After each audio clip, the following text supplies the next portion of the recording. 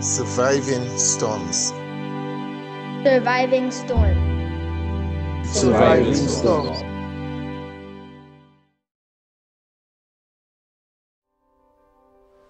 I just love making things and creating, really, and using natural materials wherever possible.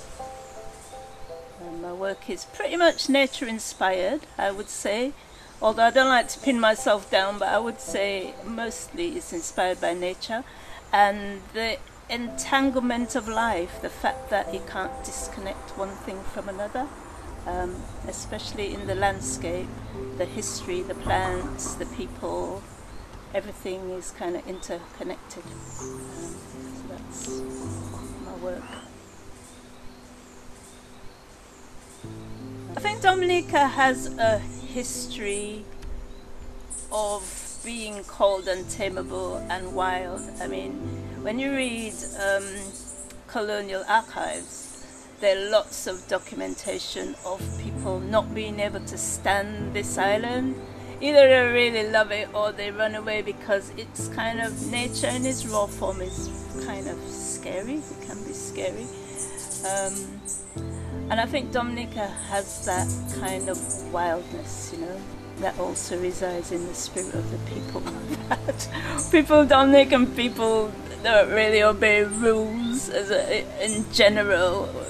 Yeah, I think, and I think I love that. I always smile at that because even though it can be very frustrating, I just think it's um, it's also great that people don't just follow, you know, follow on. They have their own minds and, and that sense of freedom. You know, after all, that's what we fought for. You know, so.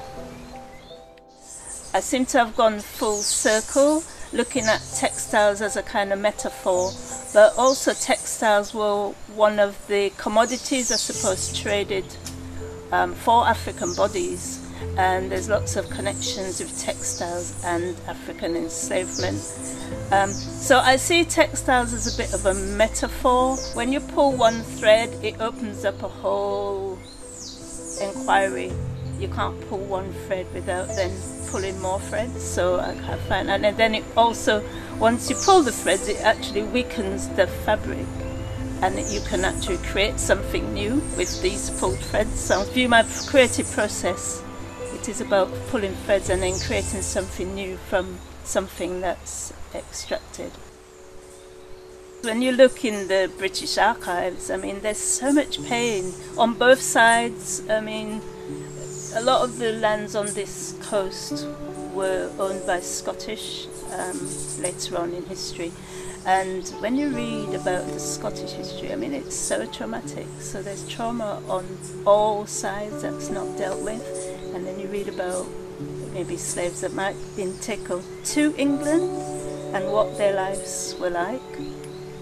Um, so for me, the nature is the thing that heals. Um, it just adds us, it softens. When I'm looking in the archives, to me, by doing work that's connected with nature, it kind of softens some of the stuff that I'm reading about because some of it's really, I mean, some of it's really awful. And I think we still have a lot of healing to be done in Dominica from that. And acknowledge, I think, just acknowledge it as part of our history. Also, art for me is my own therapy and um, it's what kind of held me together. So the fact that sometimes we might be in pieces, we might be broken, but there's something quite special about that fragility and that kind of humanity. Always have to be strong and whole and resilient all the time. It's okay to be in a place of um, brokenness, and sometimes that's where you discover wonderful things about yourself, you know, and then the healing process can take place.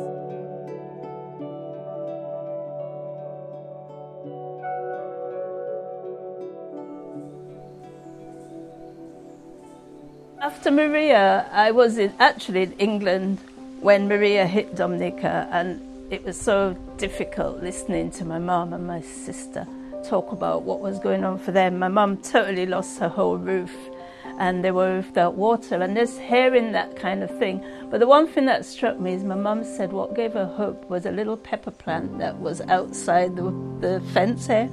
And she was looking at that and just looking at the new shoots of growth. That was kind of my healing as well, documenting growth, just looking at the things, looking at the things that were taking over, like the weeds and the vine. I'm particularly interested in vine, the things that entangle. Um, I've done a new series called The Nature of Ruins, which is looking at an old ruin mill, and I did a lot of sort of site excavation, trying to repiece what, reimagine what it could have been like, because that's totally engulfed in the bush at the minute. So that involved using a lot of natural pigments and on textiles again, drawing things from the earth factory, painting with mud because I'm trying to take my practice again back to nature, back to back to its roots, but also kind of look at the history of the dyes, history of the natural pigments, the history of textiles, and the history of the land, and try and pull it all together. But I'll always come back to the thing that repairs me, um, keeps me whole, um, and so for me, art is it's my healer, working with textiles and the soil.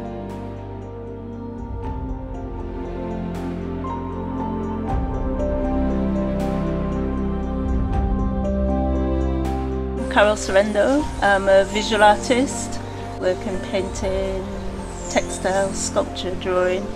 Um, I just love making things and creating, really.